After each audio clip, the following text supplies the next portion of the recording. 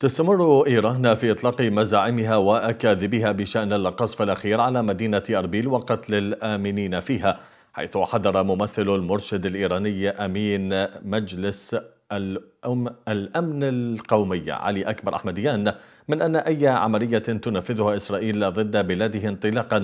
من أي بلد كان سيتم الرد عليها. أحمديان أجرى اتصالا هاتفيا مع مستشار الأمن الوطني العراقي قاسم العرجي الذي فند ادعاءات طهران بوجود مقر للموساد من خلال ترأسه لجنة تحقيق حكومية وصلت إلى أربيل بعد ساعات من الهجوم الإيراني